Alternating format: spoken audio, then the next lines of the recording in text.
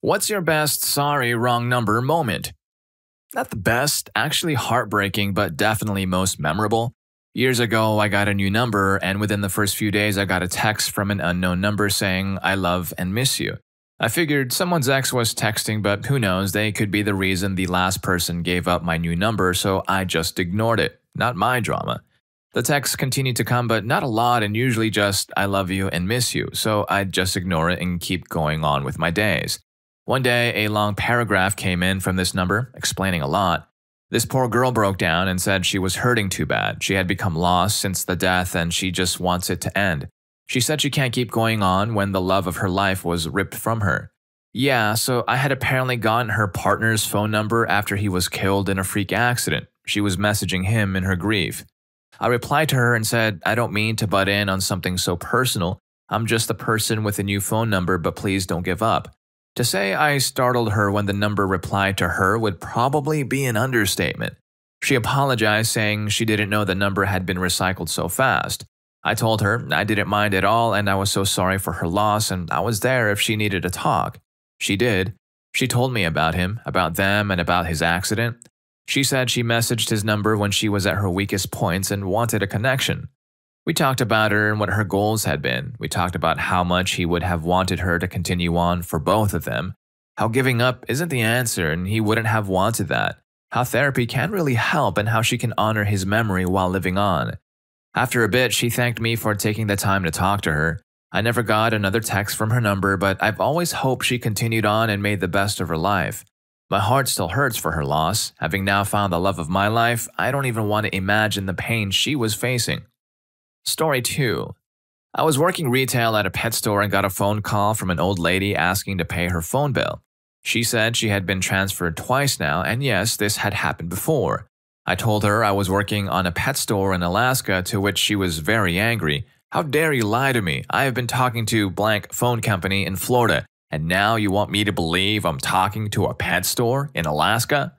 I told her, Yep, I have no clue how you got transferred to me, but what's your name and number, and what service are you trying to get done? She gave me her name and her phone number and told me that she was just trying to pay an overdue bill on a different phone so she could use her phone again. I checked with her to make sure what company she was calling. I told her I need to check something and I'd be right back. I looked up the company on my computer at work and called. They asked what I wanted, and I asked if I could just be transferred to a manager as it would be easier to explain. I explained that I had a customer who had been trying to call and was transferred. The manager knew the accounts and the lady, and I asked if he could give the gal a call on her landline, which I had gotten, and they agreed they would within a few minutes. I hung up, took the lady off of hold, and told her something akin to, Hey, so I got the phone company to agree to call your landline, and you should be able to pay that way. If they don't follow through, here's my personal cell line and let me know. She said thanks and hung up. About half hour later, I get a text from a number in Florida that says, Hey, my phone works again, thank you.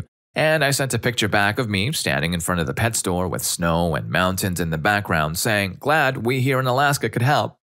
The Wholesome Alaskan Pet Store sounds like a good title for something. Story 3.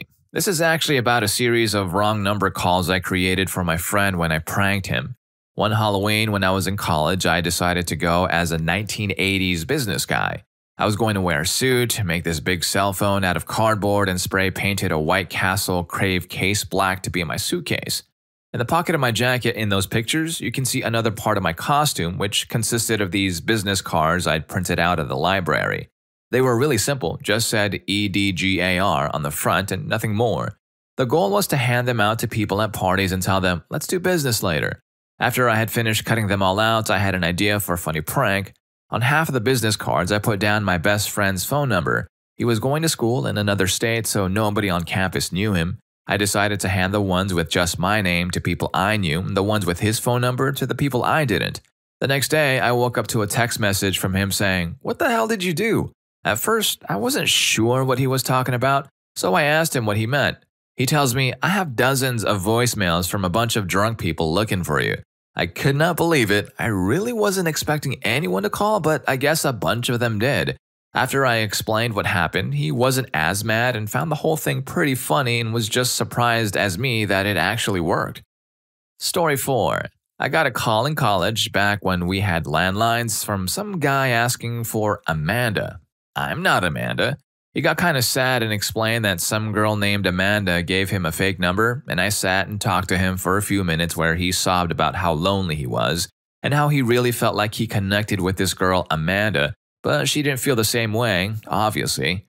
I talked to him for about 15 minutes, then had to leave for work. Felt really bad for the guy. Fast forward a whole year. At that point, I had a new number, again a landline. Guy calls and asks for Tammy. I'm not Tammy. Then he launches into the story about how he really felt like he connected with Tammy, and she must have given him a wrong number. Apparently, the guy was just going through the phone book looking for women to feed this sob story to, so they talked to him for a few minutes. Just recently, I got a call from an unknown number and I decided to answer it. Might as well, you know? Anyway, I answered, hello? Who it? But was cut off by the exasperated woman on the other line. Sorry, I just need a vent right now. They clearly thought I was someone else, but it's weird they didn't speed dial the number in their contacts. They went on to explain their day, which was certainly below average. I won't go into too much detail out of respect and because I don't remember too much, it did involve a coworker hitting on her in a way she wasn't comfortable with, and bakery items meant for someone special getting smashed and soaked in street water. After she was done, she took a breath and I told her that I wasn't who she meant to call, but what happened sounded like it sucked. She did seem surprised. She asked where I live, not like that, and I said Arizona. She said she lived there too, which was a shock. Fast forward six months, and we still talk sometimes. At least his last random call was from a woman this time. Story 5 100% true story. So, a couple of years before my daughter was born, so about 20 years ago, my phone rings in the middle of the night. I answer it, and there's some drunk dude on the phone asking for Joey or something. I can't remember the name. I can hear what sounds like a party going on in the background. I think it was a birthday party. You'll know why later. And he's all drunkenly saying, Drunk dude, Joey, hello, Joey. Hey, is Joey there? Me, hello? Who? No, there's no one named Joey here. I think you have the wrong number. Drunk dude, oh man, I'm sorry. I was trying to get a hold of my friend Joey. I'm drunk at this party and I need him to pick me up. Me, well, where are you at? I'll pick you up and get you home. Drunk dude, what? Really, dude? You would do that for me? You don't even know me. Me, yeah, totally. I would feel better knowing that you got home safe rather than to drink and drive. Just tell me where you're at and I'll come get you. Drunk dude. Really, dude? Like, really? oh, man, that is so cool. But nah, man, I'm good. I'll just sleep it off here, man. But thank you, dude. Man, you don't even know me. That is so nice. Me. Okay, man. Well, you go get some sleep. Have a good night, man. Drunk dude. You too, man. Thanks. So he hangs up the phone. My wife, who's been watching me and listening the whole time, says, Wife, were you really going to drive over there and pick up some drunk guy and drive him home? Me. Yeah, he sounded like a nice guy, and I'd have felt better knowing he was home safe because of me than him trying to drive himself home. She shakes her head, and we go back to sleep. The next day, I have a funny story to tell folks at work, and I forget about it. Now, here's why I think it was a birthday party. One year to the day, that same dude calls my house again, and we basically have the same conversation again, and that's when he realized that he had called me last year. Drunk dude, dude, didn't I call you like last year? Me. Yup, that was me. How you doing? Drunk dude. Not bad, man. Not bad. Haha, I'm effed up and having lots of fun, obviously. Haha. Me. Well, I'm glad you're doing good. Do you still need a ride? Drunk dude. Dude, that's so awesome, but no, man, I'm cool. I'm just going to sleep it off like last year. me. Well, okay, if you change your mind, just call me back. Take good care of yourself, man. And that was that. One of the weirdest and funniest things to happen to me. The buzz dude is lucky to get offered a ride home by this very nice stranger person. Each time I get calls from an unknown number, it's always some do you want to get rich scam. Hopefully, you don't get any of those calls like I do. Sometimes it's some guy from India pretending to be tech support and I gotta pay with Google Play cards. Now, if you don't want to get scammed, how about hitting the like button and subscribing to the channel because when you do, you know you're gonna get some pretty good stories. So, on to the next one. Story 6. Not me, but my cousin. A few years back, my family and I were eating at a restaurant somewhere in Texas as we were visiting our cousins. So while we were all waiting for our food, one of my cousins gave my brother their phone number, considering my brother had gotten a new phone. My brother is then about to call my cousin, and the phone says he's calling her. He didn't put her name in his contacts yet. And my cousin receives a call. She then answers it, and it is 100% not my brother. It sounded like they were a grown male in their 20s. My cousin then goes and explains that they must have the wrong number and the call ends there. My cousins then exchange phone numbers correctly and save it. A little later, we have all finished dinner at the restaurant and headed back to my cousin's house. Me and my cousin are playing Minecraft while my brother is playing with my other cousin. We're all about the same age. My cousin is the same age as my brother, and my other cousin is a bit older. I was playing with the one that is the same age as my brother as she was the girl and just had more similar interests. Plus, my brother and my other cousin wouldn't let us play with them because we were not old enough. So, while me and my cousin are playing together, she gets a call from her phone from a different number than before and answers it. Apparently, the guy who had called the wrong number before had an overprotective girlfriend and called my cousin's number. So, over the call, this dude's girlfriend is going off about her man cheating on her with my cousin and is talking about what he even sees in her. We were so confused considering the fact that my cousin was in her preteen years and had never met this man or lady. We realized she must have mistaken us to be someone who is on the sidelines, and we, we being my cousin, Try to explain to her that we had no intention of talking to him and don't even know who he is. Of course, she doesn't believe us and continues to complain to us about why we are ruining her happy relationship. We then just tell her straight up, not exact words, your boyfriend called us earlier on accident and we have no relation to him whatsoever. Bye. Me and my cousin just said that was weird and continued to play Minecraft afterwards and just told our cousins the next day when we were on our way to get shaved ice. Now, this story might not be entirely accurate considering the fact that this was a few years ago and was and still am a kid. Story 7. I was 11 and had just gotten my first cell phone, one of those classic flip phones that call people and nothing else. My parents got it for me so I could take the subway to my piano lessons by myself. Literally no one but my parents had the number. So one night, maybe a few weeks after I got it, I was lying in bed. It was probably 10 p.m. or something and the phone starts ringing, and I, being a sweet, innocent child who had never had to deal with robocalls, get up and answer it. Hello, says I, like the guileless fool that I was. Hey, says he in a deep, raspy kind of voice. It's name. You gave me your number the other day. Tell me where you live. I'll come over. I'm going to blow your mind, baby. Well, I wasn't expecting that, obviously, but I try to be a courteous person and I'd seen my mom deal with wrong number calls before, so I just imitated her. I'm sorry, sir, I don't think we've met. You must have the wrong number. At which point, of course, it all went to hell. Quit playing with me, witch, yells this adult man at me, an 11 year old child. You gave me your number, so stop effing around and tell me where you live. I'm really sorry, you have the wrong number. I don't even know who you are, I said. And please imagine my voice going up at least two octaves over the course of that line because I squeak when I panic, even now with an adult voice.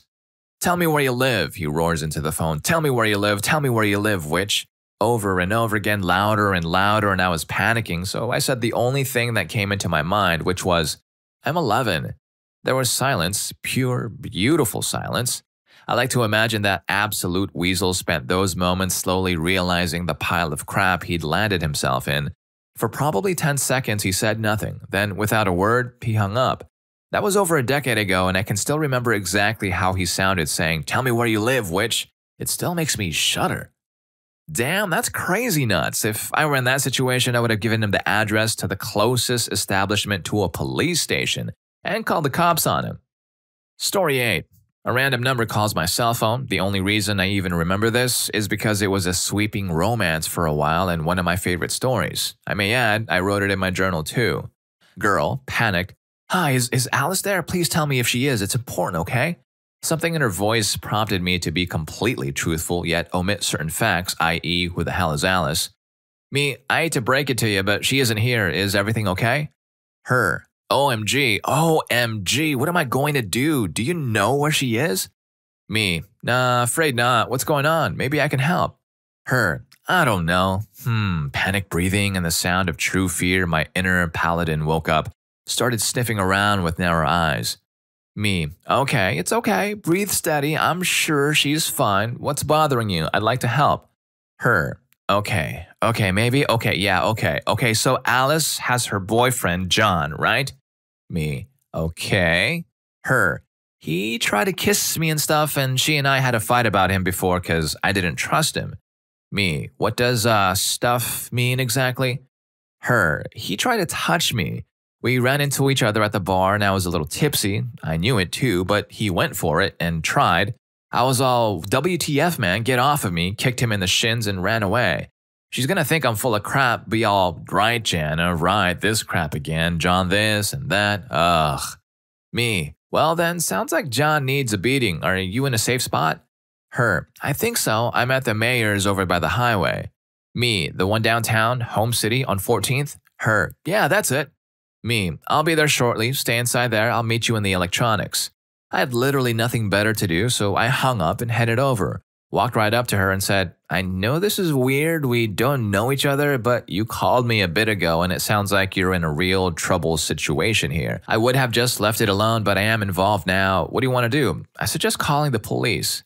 Note, for posterity, she is freaking gorgeous. Like, so pretty that she was in that league of girls that you look at and wistfully think you would never have a chance in hell with. Her, OMG, you tricked me? Wait, no, you. Oh, that's sneaky. I like that, but oh.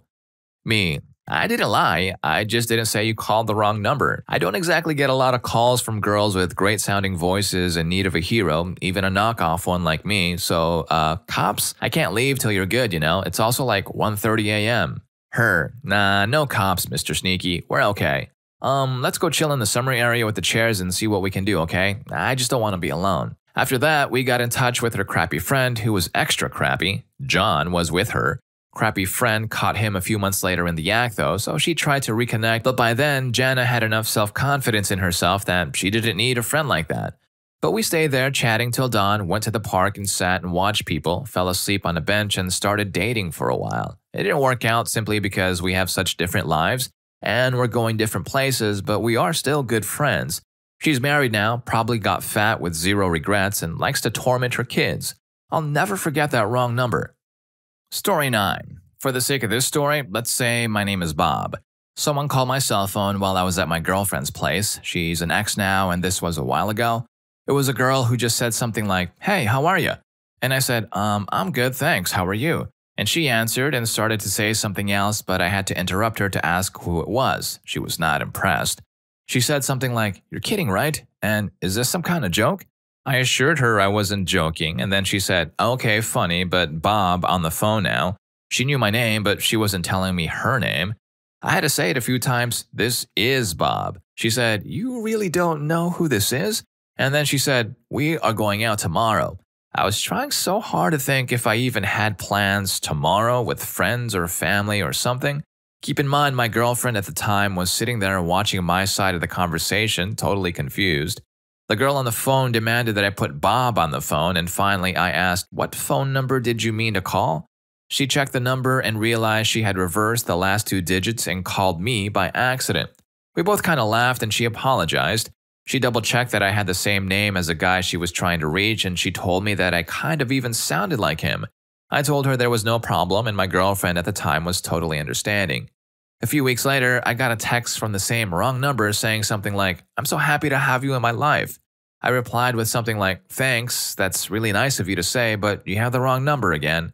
That was the last time I ever heard from her, and I never even got her name, but I had her number, so how do you like them apples, I guess? I hope you enjoyed the video, and if you made it this far, I'm sure you're also going to enjoy what's the weirdest text you got accidentally. I'm pretty sure you're gonna love and fall for story 3. I'll see you in that video.